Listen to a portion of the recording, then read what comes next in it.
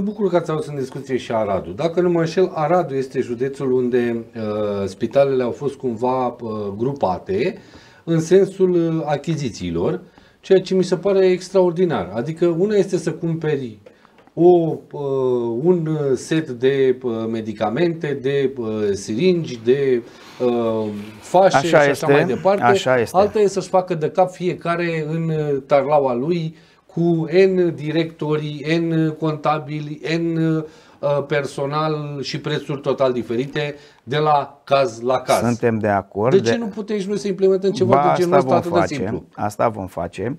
Uh, Domnul administrator, domnul Cristi Puiu, a fost la București, a avut mai multe discuții atât la uh, Ministerul de Finanțe cât și la cel uh, uh, al Sănătății, tocmai cu privire la acest aspect.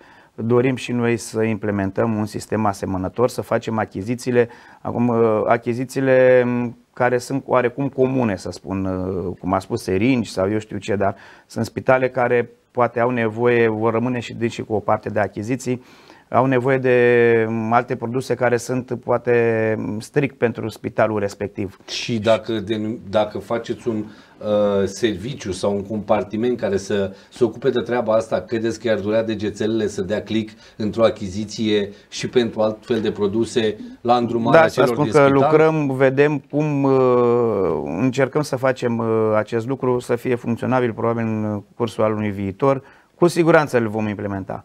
De, de la începutul anului ne gândim și am spus, lucrăm că nu e ușor să, să pui lucrurile să fie și din punct de vedere legal și operaționale și așa mai departe, pentru că nu ne putem permite să avem o sincopă în aprovizionarea spitalelor cu, cu cele trebuincioase lor.